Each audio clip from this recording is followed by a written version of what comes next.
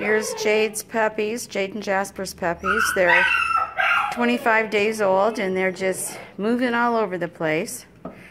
And that noise in the background is last of uh, Ginger's puppies.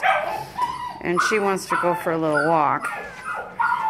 So, these guys are pretty cute. Look at that. Six girls, four boys. I think five of these puppies are sold. I'm not sure which ones yet. People are going to come and pick. So, you know there's two that have picked, but I can't point them out right now. So, there you go.